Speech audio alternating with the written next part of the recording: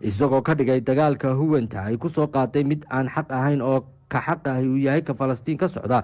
Siduu ku sheegay wareysigiisa uu bixiyey lix iyo tobankii bishii tobnaad laba kun iyo saddex iyo labaatan.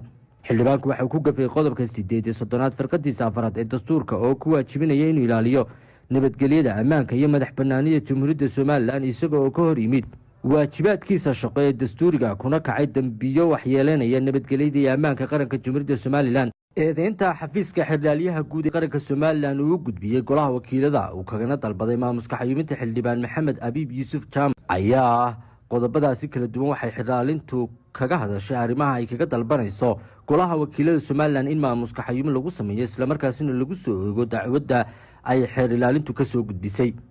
Qodobadan oo tiro badnaa ayaa qodobka koowaad xeer ilaalintu ku tidhi xildhibaan maxamed abiib waxa uu ku kacay jabin siyaasadeed iyo dacaayad qaran dumisnimo ah isagoo ka hadlaya waraysi uu bixiyey. Sideedii sebtembar laba kun iyo saddex labaatan waxa uu ku sheegay inuu ku faraxsan yahay inuu jabo ciidanka qaranka somalilan isagoo ka dhigaya in sababta ugu faraxsan yahay tahay mid uu kaga soo horjeedo madaxweynaha qaranka. Xeer ilaalinta ayaa qoraalka qodobka koowaad waxay ku sii xustay hadaladii xildhibaanka ee waraysigaas iyo su'aalihii la weydiiyey oo qoraal ah. Qodobka labaad ee eedeynta xeer ilaalintu u gudbisay golaha wakiilada ayaa ay ku tiri sidoo kale. Sidoo kale waxa uu xildhibaan maxamed abiib sumcadil u geystay hogaanka ciidanka qaranka iyo guud ahaanba ciidanka isagoo ka dhigay inuu ku dhex jiro musuq maasuq sida uu ku sheegay waraysiga isla farqada koowaad ku xusan. Waxaana xeer ilaalintu halkaasi ku sheegtay qoraal ahaan hadalkii xildhibaanku ku yidhi waraysigaasi qodobkaas labaad ayaa xeer ilaalintu sidoo kale waxay ku tidhi warkaas oo ah mid uu ku ceebeynayo ciidanka qaranka iyo hogaankoodaba isagoon hayn wax cadaynah caaglaha iyo musuq maasuqa uu sheegayo waana warar been abuura iyo sumcad dil. Sidaana waxa ugu xadgudbay qodobka laba boqol iyo sagaaliyo tobnaad laba boqol iyo sideed iyo lixdanaad ee xeerka ciqaabta guud. Qodobka saddexaad ee eedeynta xeer ilaalinta ay u jeedisay xildhibaan maxamed abiib islamarkaasina golaha wakiiladu kaga dalbatay in maamuska xayuubin loogu sameeyo xildhibaanka ayaa xeer ilaalinta ku tidhi xildhibaan maxamed abiib waxa uu jeediyey lix iyo bishii tobnaad laba kun saddex iyo labaatan uu ugu danaynayo cadowga huwanta ah ee soo weeraray magaalada laascaanood isagoo sheegay in dagaalkaasi aanu ahayn mid xaqa dagaalka xaq ahina uu ka socdo falastiin. Sidaasna waxa ugu gafay qodobka boqol iyo sagaashanaad ee xeerka ciqaabta guud. Qodobka afaraad ee eedeynta xeer ilaalinta u jeestay xildhibaan maxamed abiib ayaa waxa ay ku tidhi xildhibaan maxamed abiib waxa uu si joogto ah uga hor imanayaa danaha qaranka isagoo ku sifoobay inuu taageero kolba dhinaca ka soo horjeeda danaha somalilan sababtoo ah waxa uu ka hor yimid heshiiskii isaafgarad ee somalilan la seexatay dalka etoobiya kowda bisha koowaad laba kun iyo afar labaatan sida uu ku sheegay war-saxaafadeed uu jeediyey afartii julaay laba kun iyo afar labaatan balse uu isla xildhibaanka hore u taageersanaa in etoobiya haddii ay doonayso in dekada seylac ay maalgashato loo ogolaado sida uu ku sheegay war-saxaafadeed uu jeediyey lix iyo tobankii oktoobar laba kun iyo saddex labaatan waxaa xusid mudan in xildhibaanku safar ku tegay jabuuti laba labaatanka bishii shanaad ilaa sagaal labaatanka bishii shanaad uu halkaa kula kulmay.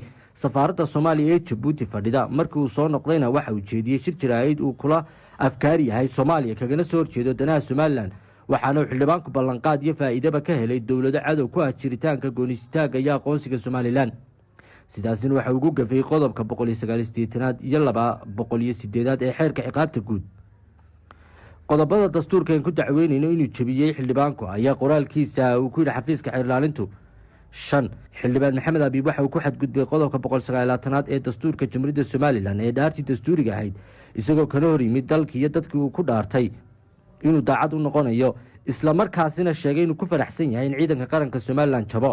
Lix xildhibaan maxamed abiib waxa uu ku xadgudbay qodobka boqol saddex labaatanaad ee dastuurka jamhuuriyadda somalilan oo dhigaya mabaadiida iyo waajibaadka ciidan ee qaran inay ilaaliyaan difaaca iyo madax banaanida dalka jamhuuriyadda somalilan isagoo ka dhigay dagaalka huwanta ay ku soo qaaday mid aan xaq ahayn oo ka xaq ahi uu yahay ka falastiin ka socda siduu ku sheegay wareysigiisa uu bixiyey lix iyo tobankii bishii tobnaad laba kun iyo saddex iyo labaatan. Xildhibaanku waxauu ku gafay qodobka sideed iyo soddonaad firqadiisa afaraad ee dastuurka oo ku waajibinaya inuu ilaaliyo nabadgelyada ammaanka iyo madax banaanida jamhuuriyadda somalilan isaga oo ka hor yimid waajibaadkiisa shaqo ee dastuuriga kuna kacay dembiyo waxyeelanaya nabadgelyada iyo ammaanka qaranka jamhuuriyadda somalilan. Haddaba maadaama uu xildhibaan maxamed abiib ku kacay faldembiyeedyada sare ku xusan ee dastuur jebin ku-xadgudbid arrimaha ciidanka qaranka iyo nabadgelyada dalka waxaan ka codsanaynaa golaha wakiilada inay maamuska xayiibin ku sameeyaan. Si waafaqsan qodobada sagaaliyo afartanaad farqadiisa saddexaad iyo sagaaliyo toddobaatanaad farqadiisa labaad ee dastuurka jumhuuriyadda somalilan si baadhis loogu sameeyo dembiyada aanu ku dacweynayno loona horgeeyo maxkamadda awoodda u leh. Cabdiraxmaan jaamac hayaan xeerilaalyaha guud ee qaranka somalilan ayaa warqadani xeerilaalintu u gudbisay golaha wakiilada kuna dalbanayaan. Maamuska xayuubinta xildhibaan maxamed abiib ku seexnaa. Dee waa eeda siyaasiya weeyaan oo maad aragtay ah in la joojiyaa la doonayaa gaadhigan istaaran ee isla xisaabta wada gaadhigan istaaran ee dulmadiidka gaadhigan istaaran ee maad aragtay dowladda casriga ah iyo in dadka loo shaqeeya doonaya eeda lagu baktiya la doonaya weeyaan. Anigu wax dembiya oo aan galay oo dastuurka somalilan waafaqsan eedaa la soo soo jeediyey ma jiraan. Waxaad ka hadashay arrintani inay arrin siyaasadeed baad aad ugu celcelisay. Maxaad ugu malaynaysaa inay arrin siyaasadeed waxaan ugu malaynayaa saddex cisho ka hor dee kulmiye wufuud ka socotay meelsa iyadayda soo dirsadeen oo laga kaalina dhisana isbaaysigaa u tegin qolada cadowga gudaha u tegin. Ma fahantay de markaan hilaac biyiisu caddaystaa biyuu caddaadaanna waxaa la yidhi baashanaa la soo dhigay. Marka markaan iyaga la jooga dambiile mihid way maxaa ka mid haddii eedaha la soo jeediyay aad noo wallaahi waxaa ka mid ah jabkii ciidankaad ka qayb qaadatay markaad jabuuti tegtay safaaradda soomaaliya la tegtay meel alla meel ku taala safaaradda soomaaliya maaragba safaaradda somalilan xogeyaga koowaad ayaa iga qaaday airboortka iyadaana qaana isagaa soo qaaday iyadaana qaana isagaa i adeegaya baasaboorradeeda waxay godhan isagaa wada. Walla iga tiya bili safaaradan arkayna haba yaraatee ma jirto. Waxaan safaarad uga baahnaana? Haba yaraatee maba jirto. Baasaboorka jabuuti baan doontay waan caddeeyey. Maxaa keeni karaa in eedda intaa leeg in la yidhahdo safaaradda soomaaliya la kulmay lagu soo eedeeyo? Waxaa sheegaya xorriyadda xaqa aan habeeniya maaluu taagana baa keenaysa. Salaamaan waad ogtoo nebi maxamed baa lalahaa maarata boqornimaad doonaysaa waa majnuun waad waalanta. Anigana waxaasoo dhan waa laygu dhahdaa walaal taasaa keenaysa.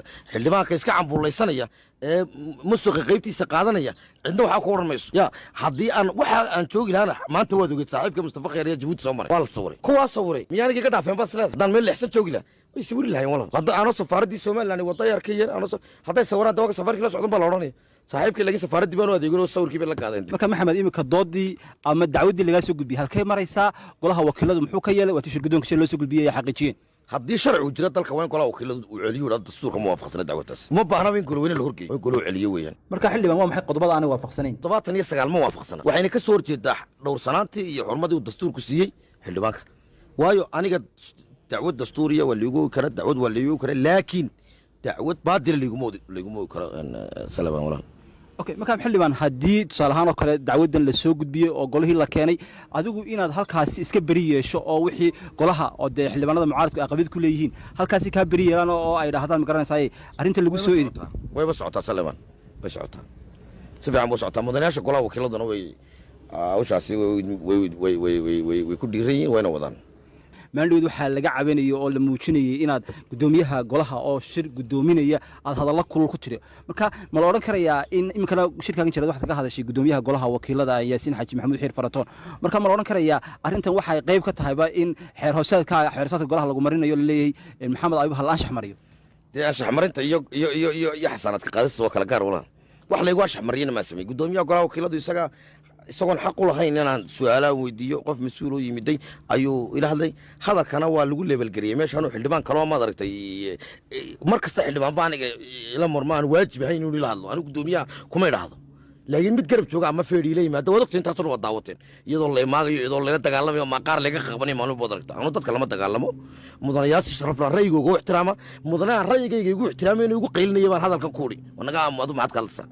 Saalla inta la isku dhajiyo guddoomiye lagu leebelgariyey waxaa loo ka jirana ma jiro taasina waa golaha iyaga dhexdiisa dee xasaanaadka qaadis inay keenta maaha haddaanay baroorta orgee ka weyneyn ee golooyinka fasax buu ku jiraa guddida joogtada ah ayaa gacanta ku haysa dacwaddan la soo gudbiyey ma iyagaa go'aan ka gaadhayo oo ama celinaya mise waxaa la sugaya intu goluhu furmayo oo golaha weynaha la sugaya guddiga joogtadii shaqaba male wax kumalaba marka ugu horreyse xeer ama sharcigu kula yimaado shir guddoonku waxaan qulay inay la tarsadaan sharci yaqaanada wixii aan sharciga waafaqsan halkaasaa laga celiyaa intaasoo jeerna halkaasaa laga celiyey tanna halka haddii laga celin waayo oo eedaa siyaasiga ah ay ku socdaan golaha maalin walba way socon doonaan. Dalkana way baabiin doontaa kaa jiro oo la hadal hayo oo adiga mooyaan laba xildhibaan oo kale waa la soo ediyey eedan imika golaha la keenay ma adigu bay ku koobantay mise xildhibaano ilaa imika inta golaha loo keenay hadalkaasi wuu jiraa laakiin waxaa laygu raggaasi rag baa ku guntado kale oo reebay baa layidhi anigu markaa malaa cidigu guntintaan waaye maxaad mowqifka rasmiga aad ka qaadanaysid dacwaddan lagu sooga maxay mowqifkaan ka qaadanaya waxa weeyaan inaan xorriyadda iyo waajibaadka difaacno intaan nuu haysano cid difaacda haddii laakiin dadku ay ku qanacsan yihiin nidaamka dulmiga maad garatee dadkaan la tashanaya